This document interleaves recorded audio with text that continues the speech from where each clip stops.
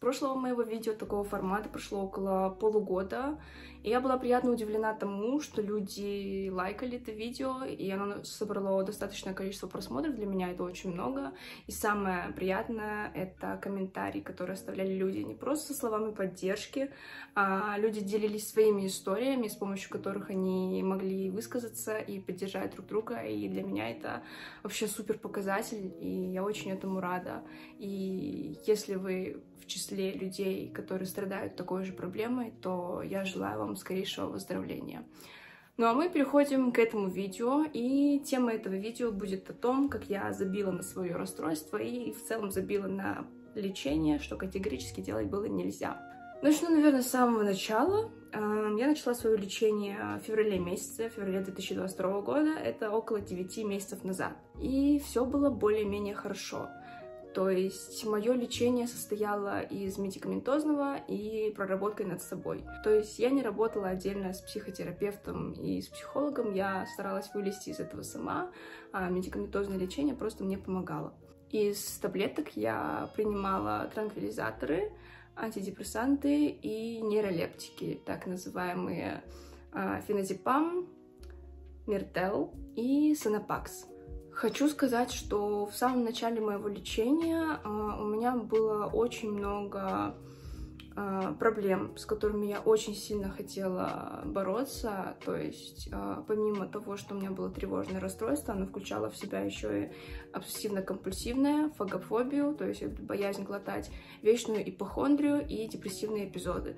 Конечно же, будучи уже на том пике, я не могла больше жить с этими проблемами, и я очень сильно работала над собой, очень сильно работала над тем, чтобы выздороветь.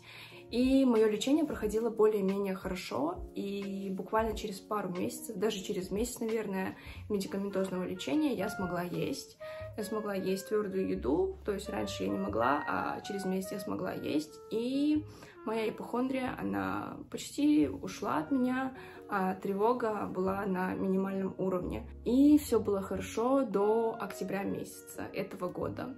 То есть мое состояние ремиссии продлилось около полугода, если я не ошибаюсь, может быть, чуть меньше. В октябре я начала замечать за собой те же самые симптомы, которые были у меня в самом начале расстройства. То есть мне стало тяжело появляться на людях, у меня была постоянно тревога, мое ОКР усилилась. Я не могла кушать даже в тех местах, которые мне комфортно. Ну, короче, все просто вернулось на свои места.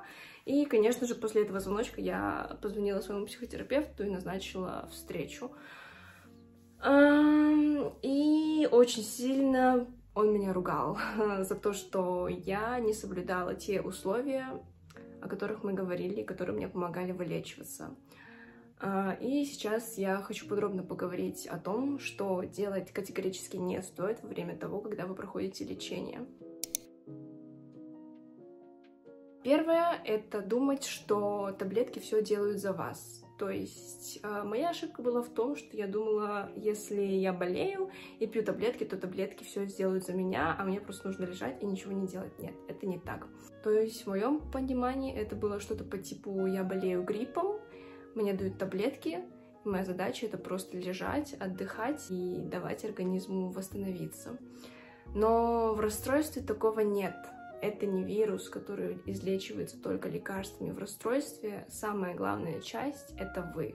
То есть таблетки дают вашему организму всего лишь условия для выздоровления, а все остальное, оно лежит только на вас. Второе это пустое время. Как мне объяснял мой психотерапевт, а, когда ты болеешь каким-то расстройством, это может быть любое расстройство, тебе нужно просто пересмотреть все свое качество жизни и сделать так, чтобы у тебя было минимум пустого времени, чтобы, точнее, его совсем не было. Что такое пустое время? А в пустое время нужно отличать от свободного времени. То есть в свободное время входит отдых, просмотр фильмов, которые вам реально нравятся, просмотр сериалов, которые вам реально интересны, а, чтение книг а, или что-то типа такого. Пустое время — это когда вы просто сидите в ТикТоке, листаете ленту и плюете в потолок и ничего абсолютно не делаете. То есть э, у меня такого времени было достаточно много. И здесь есть вот эта вот граница, как отличать отдых от просто ничего не делания. А, как это отличала я? После целого дня, допустим, активности мне нужно было отдохнуть, и в этот момент мне обязательно нужно было отложить свой телефон, просто лечь, поспать, или просто лечь и реально отдохнуть 20-30 минут. И все, этого мне хватало, когда я ни о чем не думаю, когда мое тело реально отдыхает, и вот, вот так вот это должно работать. Очень важно э, здесь иметь четкий тайм-менеджмент. И на это, конечно же, я тоже забила, потому что, ну, были еще и летние каникулы, я уезжала к бабушке, я ничего не делала абсолютно, ну, потому что я поймала расслабон, и такая, типа, ну, мне все равно, типа, что будет, то будет. Я ничего не делала, и пустого времени у меня была куча. И это еще одна ужаснейшая ошибка. Третья моя ошибка — это режим сна. На самом деле режим сна — это такая щепетильная тема, в которой нужно разбираться на самом деле, потому что все очень индивидуально. И когда я только начала принимать лекарства, я тогда страдала фагофобией, то есть я не могла кушать, я очень сильно похудела. И тогда мой психотерапевт сказал мне, что когда я начну пить лекарства, мой организм будет просить а, больше сна на восстановление, и это нормально. То есть нужно давать ему то время, которое он хочет. Типа, когда ты хочешь спать, обязательно спи. И вот так должно было продолжаться пару месяцев, пока я не приду в себя, не восстановлю свой вес, и потом идти по нормальному режиму. Я, конечно же, опять этого не сделала. То есть, а, конечно, да, во время того, как я только начала принимать лекарства, я очень много спала. И когда мой вес пришел в норму, когда я уже смогла кушать, я все равно оставила прежний режим сна. То есть я могла засыпать в 2 часа ночи, просыпаться в 2 часа дня, и то, если меня будили. А если меня не будили, я могла просыпаться в 4-5, и мне это было нормально. Я знаю, что это не очень, я знаю, что это, ну, вообще ни к чему меня не приведет, и это ужасно для качества жизни, но я вообще абсолютно ничего не хотела с этим делать, и просто забила, и просто вот буквально с весны до октября месяца я вела такой режим сна, за что мне тоже очень сильно поругали, мне сказали, что так тоже делать нельзя, категорически делать нельзя, то есть ты пришла в свой нормальный вес, тебе уже не нужно постоянно спать, чтобы э, воплотить вот этот энергозатратный период. Нужно брать себя в руки и восстанавливать режим сна, потому что когда вы спите слишком много, выделяется слишком много энергии лишней. Или наоборот. Короче, я не шарю в этой теме, он мне объяснял, я так и не поняла потому что, ну, я реально не поняла, но, короче, спать много тоже нельзя, это очень вредно для здоровья, и это тоже очень сильно влияет на то, как поведет себя ваше расстройство. Четвертый пункт — это кофеин и алкоголь. Когда мне выписывали лекарства в нашей первой встрече, э, мне мой психотерапевт сказал строго никаких наркотиков, никакого никотина, никакого алкоголя и никакого кофеина. Забудь про это. И тогда я подумала, ну, я не курю, я не пью кофе, потому что я не люблю кофе, но Алкоголь, конечно, я выпиваю, но не критично. Тогда я подумала, а, ладно, это так легко, типа, я не буду пить, чем мне этого стоит. Но на самом деле это оказалось очень тяжело, потому что как раз-таки в сентябре я очень сильно подсела на кофе. Я поняла, что это очень-очень вкусно, и э, пила почти каждый день по одной, иногда даже по две чашки кофе. А, начала пить алкоголь, потому что, ну, знаете, я сделала скидку на что будет от одного раза. На самом деле так вообще делать нельзя, и вот после этого меня начало жестко штормить именно моими паническими атаками и тревогой из-за алкоголя. На будущее вам. Если вы лечитесь от расстройства, не надо, не надо, пожалуйста, не надо. На моем опыте так делать не надо.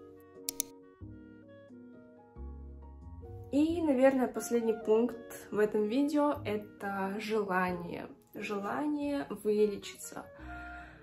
У меня это желание было в начале моего расстройства. Прям ярое желание, мотивация что-то делать для того, чтобы чувствовать себя нормальным человеком. Летом это желание, ну, как бы оно не исчезло, оно всегда было, но оно было, знаете, такое без мотивации. Я знала, что я хочу вылечиться, но я ничего для этого не хотела. А, ко мне приходит сестренка сейчас, и поэтому, если услышите звук домофона, то простите меня, пожалуйста. Так вот, а, не было у меня мотивации.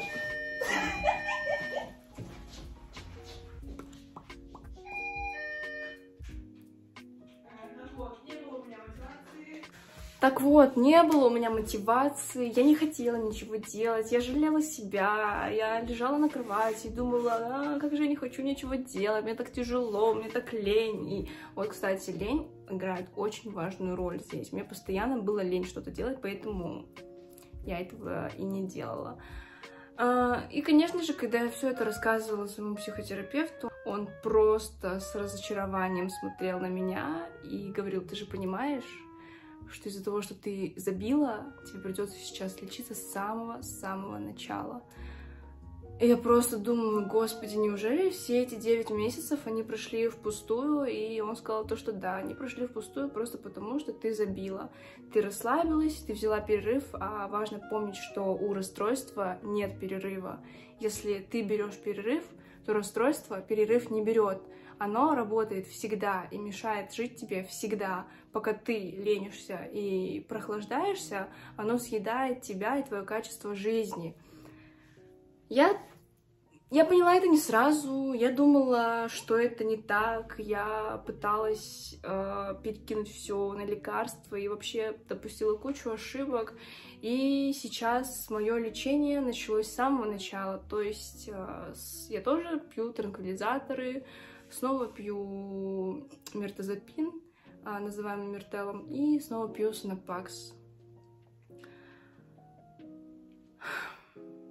Вот так вот. Что я хочу сказать этим видео? На самом деле все не так круто и гладко, как вы думаете. Расстройство это очень тяжело, очень энергозатратная штука, очень сильно она мешает тебе жить, съедает тебя, и постоянно в тебе идет вот эта борьба, нужно тебе это или не нужно, хочешь быть ты здоровым или не хочешь. И просто нужно брать себя в руки. То есть, если ты хочешь плыть в сухой лодке, в которой есть пробоина, тебе нужно грести и вычерпывать оттуда воду. А если ты устанешь и не будешь этого делать, то ты просто потонешь. Это, кстати, он мне привел такой пример, вот, и поэтому я его сейчас везде использую. Но это правда так, это реально так работает. Я не знаю, как еще это объяснить. Сейчас просто я начинаю, да, лечение заново, и я, да, конечно, я этому расстроена, но что поделать, я правда хочу быть здоровой, я правда желаю всем вам быть здоровыми, и, пожалуйста, соблюдайте все эти правила, которые говорит вам психотерапевт, потому что врач, который лечит вас, знает лучше. Если вам повезло, и вы нашли психотерапевта, который реально годный, реально знающий, то, пожалуйста, соблюдайте все его правила, которые он вам говорит, потому что он знает лучше. Не забивайте на свое лечение, не теряйте мотивацию о том, что вы хотите выздороветь. Это вам поможет на самом деле. И если допускаете ошибки, потому что, да, конечно, я понимаю, что все мы люди, все мы допускаем ошибки, то не забрасывайте это, как я. То есть, да, не выпили лекарство один день, окей, это не так критично, но продолжайте пить дальше. А, выпили алкоголь или кофеин в один день, ну окей, хотя это нельзя было сделать, но больше так не делайте. То есть всегда живите по правилам, и в конечном итоге вы выздоровеете, и нужно в это верить. И, в принципе, тайм-менеджмент, который помогает нам при лечении расстройства, пригодится нам после того, как мы вылечимся и повысит наше качество жизни, потому что, ну, это так и есть, мне кажется. Это очень прикольная вещь, и занимайтесь собой, занимайтесь любимым делом, ищите себе хобби, находите себя, и будьте здоровы. Спасибо за внимание. Всем пока.